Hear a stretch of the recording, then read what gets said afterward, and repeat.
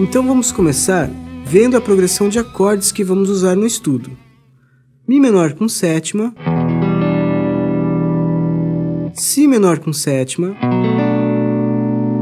Dó com sétima maior, Lá menor com sétima, novamente Mi menor com sétima, Si menor com sétima, Dó com sétima maior último acorde muda, Ré com sétima. Repare que todos os acordes estão no campo harmônico de Mi menor. Notas de repouso são notas mais longas que duram mais tempo, que descansam no acorde da base e normalmente são as notas principais da melodia. É importante que você encare essa aula como o início de uma nova fase nos seus estudos. O que vamos abordar aqui é uma pequena demonstração e sugestão para você começar a raciocinar tocando.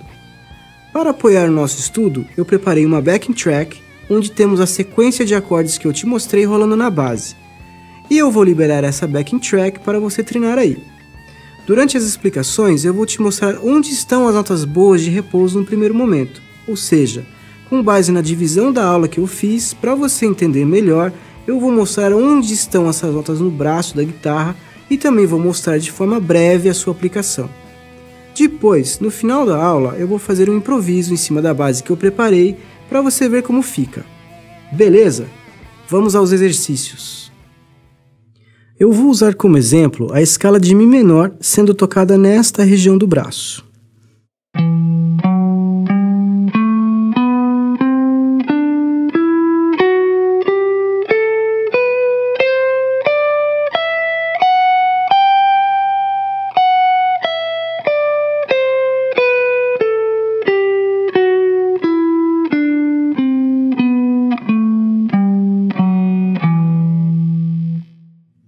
Mostrar para você nesta região, mas você pode ficar à vontade para seguir outras digitações.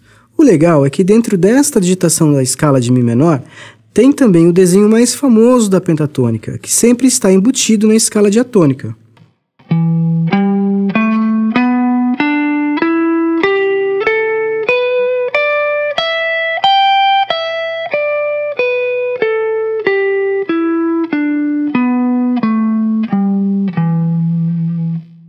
Primeiro, você deve visualizar onde estão as tônicas de cada acorde dentro deste desenho. A tônica é também chamada de fundamental, ou seja, é a nota principal que dá nome ao acorde ou tonalidade. Um exemplo: a tônica da escala de Mi menor é a nota Mi, a tônica do acorde de Lá é a nota Lá, a tônica do arpejo de Si é a nota Si, e assim por diante. O primeiro desafio vai ser: será que eu sei as notas no braço como deveria? Este é um bom teste. O próprio exercício vai te ajudar a memorizar as notas no braço, mas antes vou te ajudar a localizar as tônicas de cada acorde dentro do desenho da escala que eu utilizei. Seguindo a progressão. Pro Mi menor com sétima, as tônicas deste acorde nesta região estão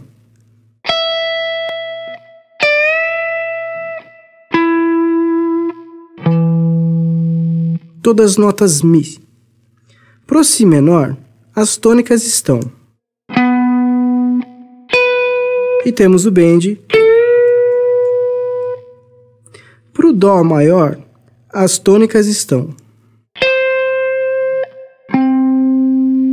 Pro Lá menor, temos o bend na primeira corda. Agora a progressão se repete, mudando o final então, repetindo o Mi menor.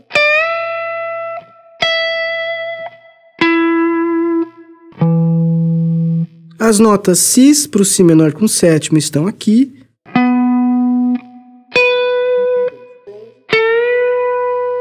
As notas Dó estão. E agora o último acorde da progressão mudou para Ré, então os nossos Rés aqui nesta região estão.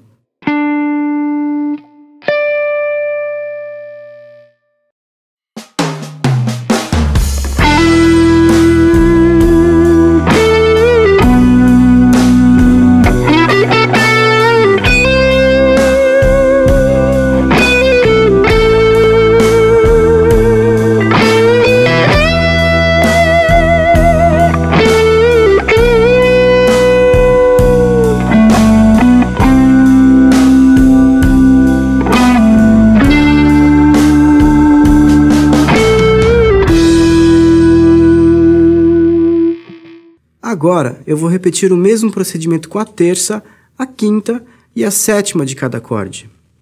Primeiro, vamos usar a terça de cada acorde e está aí um belo exemplo para você aplicar o conhecimento teórico de formação de acordes. Caso você não tenha domínio desse assunto, você pode assistir o curso de formação de acordes aqui do Cifra Club.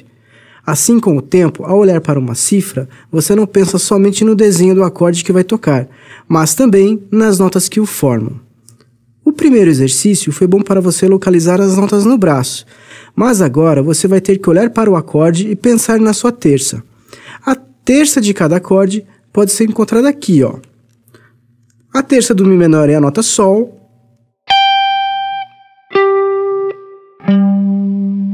A terça do Si é o Ré. A terça do Dó é o Mi.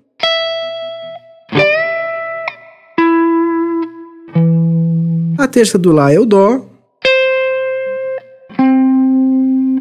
Repetindo a progressão, a terça do Mi é o Sol. A terça do Si é o Ré. A terça do Dó é o Mi.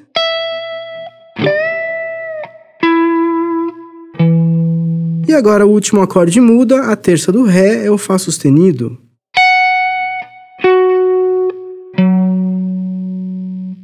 Então agora o mesmo esquema, eu vou tocar frases ligando a essas notas que estão pré-definidas.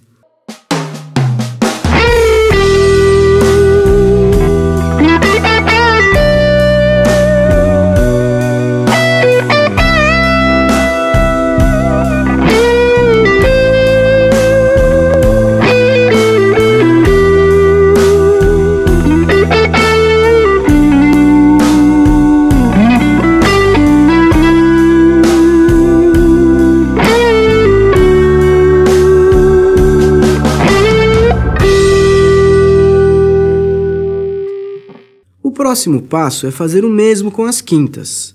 Mas antes, tenho que chamar a sua atenção para o que está acontecendo. Este estudo está treinando seu ouvido com sonoridades diferentes, já que quando tocamos somente licks ou solos prontos, ou simplesmente tocamos sem pensar, acabamos por não experimentar outros caminhos e resoluções. Claro que se você está começando a tocar agora, é importante improvisar usando só a intuição, subindo e descendo, parando na escala onde der, já que no início é um pouco mais difícil saber quais notas você está parando em relação ao acorde. Mas tudo vai depender de quanto realmente você está disposto a se dedicar e se aprofundar nos estudos da música, um tijolo em cima do outro. O mais bacana é que você vai notar que nesse estudo, além de aprimorar sua destreza e pensamento rápido, vai fazer com que a sua intuição e feeling melhorem juntos. Bom, Agora, olha só onde está a quinta de cada acorde. A quinta do Mi é o Si.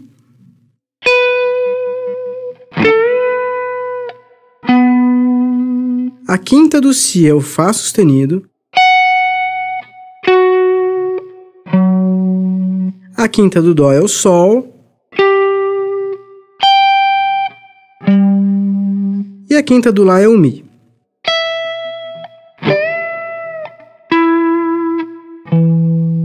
Progressão repete e agora a quinta do Ré é o Lá.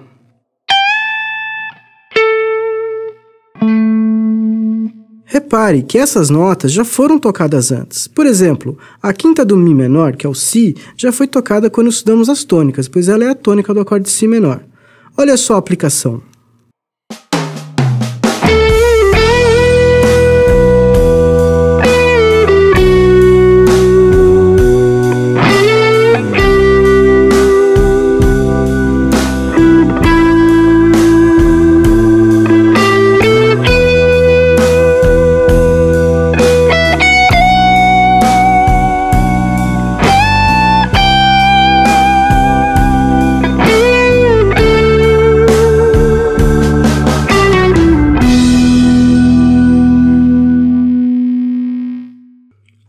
Que já fizemos os exercícios usando as tônicas terças e quintas como resolução, nos falta a sétima, que das notas que compõem a tétrade é a menos conclusiva.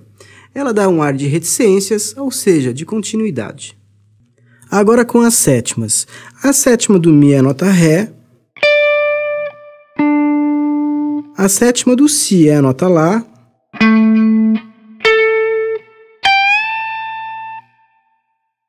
A sétima do Dó é a nota Si. A sétima do Lá é a nota Sol. E a sétima do Ré é a nota Dó.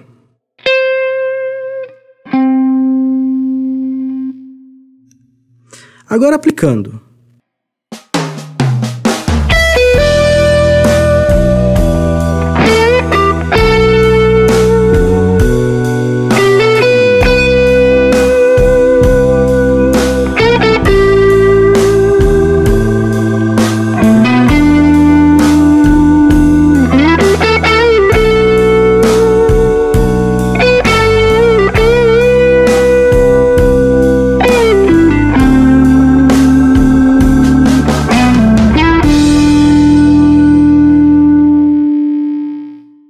Experimente esse estudo usando outros desenhos de escala e regiões no braço do instrumento. Naturalmente, não são somente as notas da tétrade de cada acorde que podem ser usadas de repouso nos acordes, mas são as que mais vão se mesclar ao som do acorde do momento. E ter esse domínio ajuda a entender o que vem pela frente, que são as nonas, quartas e sextas. A dica final é analisar os solos que você gosta e toca de outros guitarristas reparar quais são as notas de repouso que estão sendo usadas e o acorde em cada momento. Aquela nota longa que te emociona do seu solo preferido, qual nota e acorde foram usadas para criar aquela sensação? Vai descobrir. Saber a progressão de acordes usadas nos solos que você toca é fundamental para ter uma base sólida para criar seus próprios solos improvisos. Para finalizar, vou fazer um improviso e você vai visualizar o acorde do momento e a nota que usei de repouso sobre o mesmo como estávamos fazendo antes, só que dessa vez sem uma ordem pré-definida e usando todo o braço. Ora eu vou descansar na terça, ora na tônica, enfim, a ordem vai variar. Olha só.